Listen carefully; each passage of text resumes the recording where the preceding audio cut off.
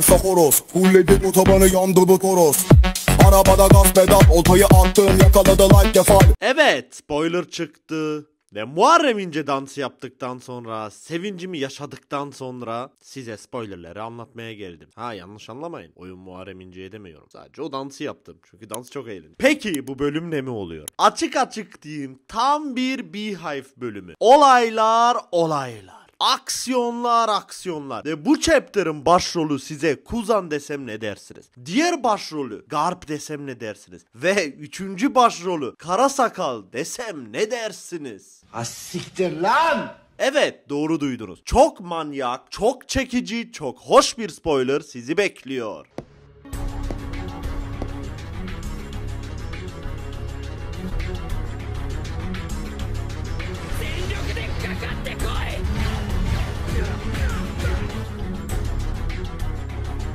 Arkadaşlar size de Muzan saldırsın istemiyorsanız kanalıma abone olmayı unutmayın. Niçin abone olmayı unutmayın? Çünkü daha çok bu tarz bilgi, parodi vesaire cartı curtu ıvır zıvır saçma sapan video, mantıklı video bir ton video çekeceğim. Siz de bunları izleyebilmeniz için abone olmalısınız. Aslında abone olmanıza gerek yok ama olursanız ben faydalanırım. Benim hoşuma gider. E bir de like atarsanız sevinirim. Şimdi arkadaşlar chapter kaldığı yerden devam ediyor. Ve inanmayacaksınız dediğim gibi bu bölüm komple Beehive'da da geçiyor. Ve o da ve o da her chapter üstüne koyduğu gibi de bu chapter'da bizi tatmin edeceği net bir şekilde ortada.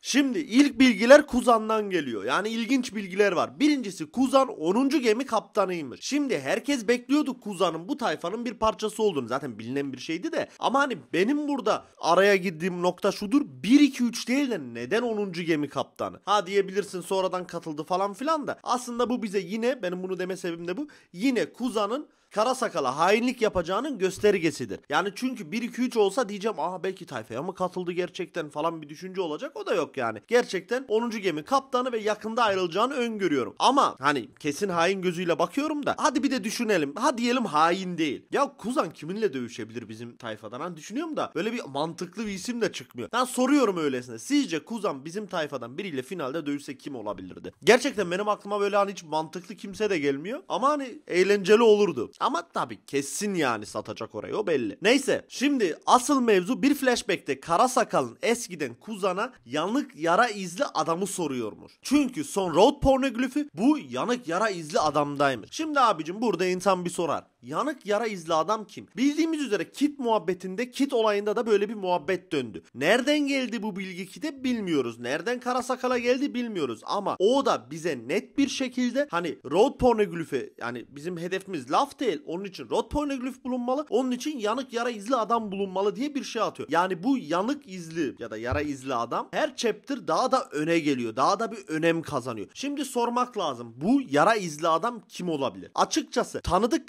karakterlerden biri olacağını düşünmüyorum. Çünkü bana göre çok vasat kaçacak. E şimdi düşünmeden de edemiyorum. Hani yara izli deyince de hani bir Scopper Gaban da demek güç istiyor ama aklıma gelen yani bu tarz bir gelişi bir hype'la karşılanacak bir karakter olmasıdır. Hani bu saatten sonra sıfır bir karakter sunmaz bize diye umut ediyorum. E şimdi görülenler de tatmin etmez diye varsayım yapar isek e, hükümet devlet mevlet de olmamalı. E geriye bir Scopper Gaban gibi biri çıkıyor yani. Bir ayda iki ayda bir silüet gördük mü? Gizemli bir adam gördük mü? Scopper Gaban falan filan diyoruz da o da bize bunu vermiyor. Ama yani şu an değişik bir senaryo içinde bunu bekliyorum. Ha Saul olabilir mi desek bence yani Saul tarzı gördüğümüz bir karakter olmaz. Çünkü hikayenin akışını çok net kaydırır. Yani bu sefer şimdi şu hesabı da yapmak lazım. Bu 3 tayfadan kim ilk road pornoglifleri bulacak? E şimdi Shanks, Luffy ve Karasakal aynı seviyede. Ha Shanks'in önde olma ihtimali var. Tabi bu yanık yara izli adam Shanks ile bağlantılıysa işte orada da Saul olayı falan geliyor. Ama açıkçası onu da zor görüyorum. Yani size de bir sorayım. Sizce bu yanık yara izli adam kimdir? Ben bunu hep Saul diye görüyordum. Ee, ama bu saatten sonra da bana açıkçası zor geliyor geliyor yani. Bilmiyorum yani şimdi nasıl desem size. O da uyuşmuyor, bu da uyuşmuyor. Yani gerçekten zor bir nokta. Ya bilmiyorum sizin de bir düşüncenizi almak istiyorum yani. Eğer ki bu Saul mu değil mi bilmiyoruz. Sizin de yorumlarda düşüncelerinizi okumak istiyorum. Şimdi bir de Kara Sakal ve Garp olayı var. Bu olaylar geçmeden Chapter'ın bir başka önemli olayına geçeceğim. Ona da geçmeden Love ile ilgili de bir bilgi alıyoruz biz bu chapter. Ve o bilgiyi sunayım. Love nasıl Shichibukai olduğunu hatırlıyor musunuz? Love Shichibukai olmak için hükümeti ikna etmek zorunda kalıyor ve ikna etmek için 100 kor korsanın kalbini çalıp hükümete teslim ediyor ve böylece hükümet onu seve seve olmasa da nokta nokta Shichibuka ilan ediyor. Hani şimdi birkaçınız bu bilgiyi unutmuş olabilirsiniz. Birkaçınız hatırlıyorsunuz. Benim bunu hatırlatma sebebim eğer ki bu bilgiyi unuttuysanız kanalıma abone olma fırsatı sunuyorum. Yani böylece hak etmişim diye umut ediyorum. Çünkü spoilerlerde artık hep böyle bir bilgi atacağım. Neyse abone olursanız sevinirim. Çünkü 40 bine az kaldı ve senin desteğine ihtiyacım var. Ve diğerinin de diğerinin de.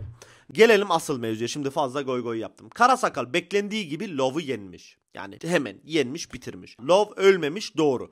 Kit de ölmedi. Yani bunlar senaryoda ileride tekrardan karşımıza çıkacak. Bu net bir bilgi. Bunu yani görünen köy kılavuzu istemez. Peki şimdi buradaki asıl soru ki özellikle Red'in spoilerları aktaran kişinin paylaşımlarına göre bir room işaretine benzer bir gif atmıştı. İçi karanlıktı falan gibisine. Hani burada da akıllara şu şeyi getiriyor. Kara sakal Love'un meyvesini alacak mı? Açıkçası yani size şöyle diyeyim. Bence kara sakal Love'un meyvesini almayacak. Alsa çok manyak olur, çok güçlü de olur. Ama açıkçası ben Love'un senaryoda daha önemli bir rol alacağını düşündüğüm için Love'un meyvesini kaybedeceğini öngöremiyorum. Hani Love bir kere ölmüş olmalı ya da hadi ölmeden oluyorsa ki bu bizim gördüğümüz bir şey değil. Yani Love meyvesini korumuştur büyük ihtimal ama burada Redon bize bir gönderme yani bir merak bence bir clickbait yaptırdı bize. Çünkü ben inanmıyorum yani Love meyvesini kaybedemez bana göre. Son bilgiye de gelelim ki bu da yine Kuzan ve Garp ile ilgili. Kuzan Garp'ın eski öğrencisiymiş. Bu gerçi bu da önemli bir olay değil. Buradaki ilginç bilgi şu. Bu ikili dövüşmüş. Ama bu dövüşte şimdi ben çeviriden tam anlamıyorum bu eskiden mi oldu? Şu an mı oldu? Ama e, tahminim üzere şu an oldu ve Garp yendi yazıyor burada. Büyük ihtimal bir 3-4 saate bu bilgi tam netlik kazanır, açıklanır diye düşünüyorum. Ama şu an ben bu kaydı alırken bu bilgi daha tam açıklanmadı. Ondan dolayı bilmediğim için size hani diyorum. Ya eskiden dövüşmüşler bunlar ya da şu an dövüştüler. Ama Garp yenmiş. Ben tahminimi şu andan yana kullanıyorum. Hani bence şu an dövüşmüşlerdir ve Garp yenmiştir. Olur mu bana açıkçası mantık olarak hani Garp'ın bir amiraldan bile daha bu kadar güçlü olacağı biraz wow dedirttiriyor. Çünkü yani bir amiralın yani Kuzan Sakazuki ile aynı güçte neredeyse. Son chapter'dan beri tamam herkes biliyordu Garp zamanında Sakazuki'yi neler neler yapardı da ben onu halen şu an için yani bu sahne için geçerli olduğunu düşünmemiştim. Ama gördüğümüz kadarıyla bu geçerli. Tabi şu an olduysa eskiden olduysa da yine de helal olsun. Yani Garp'ın gücü devasa. Burada da bize Oda'nın gösterdiği büyük ihtimal Garp'ın ne kadar güçlü oldu. Ve Kara Sakal kesinlikle o zaman adaya gelmeli. Çünkü eğer Kuzan gerçekten Garp'a yenildiyse Garp'ı kimse durduramaz. E Garp'ı kimse durduramazsa da abi adam bir Yonko'nun krallığını yok edecek yani. Ya bu da olmamalı. Senaryo gereği Kara Sakal burada yenilemez. Yani benim aklımdaki senaryo uyuşmayan bir sahne. Ondan dolayı da yani bir Kara Sakal'ın gelişini bekliyorum. Eğer ki Kara Sakal gelirse normal şartlarda hani benim hesabıma göre Kara Sakal da Garp'ı yenmeli hatta öldürebilmeli yani. Nasıl diyeceksiniz? Abi şöyle bir şey. Ana düşmanı yenilemez yani. Yenilmesi dahi teklif edilemez. Ondan dolayı da öyle bir senaryo olmalı aslında. Ha o da Sensei ters köşe yapar da bu saatten sonra da bana Zebek'i getirmeyeceğine göre ana düşman olarak mecbur Kara Sakal almalı. Ha olur mu olmaz mı o da başka bir olay. Neyse spoilerler budur arkadaşlar. Hani daha fazlası yok. Şu an elimde olan bilgiler bu. Büyük ihtimal video yayınladıktan sonra devamlı devamlı bilgiler gelecek. Nerede, ne olacak, nasıl olacak tabi onu zamanla göreceğiz. Ama çok ilginç bir chapter bizi bekliyor. Onu şimdiden diyeyim. Spoilerlerin devamı geldi mi videosunu çeker miyim bilmiyorum ama manyak bir bölüm bizi bekliyor yine de. Umarım Garp Kuzan dövüşü de güncel zamanda oluyor. Ama hani şurada da şurada takılıyorum. Eğer ki bu dövüş gerçekten güncel zamanda olduysa yani bu chapter'da oluyorsa da Garp bir chapter'da nasıl yeniyor abi sen nasıl bir güç oluyorsun burada? Onu insan bir sorgulamak lazım. Neyse eğer ki inceleme hoşunuza gittiyse spoilerlerden hani fikirlerim de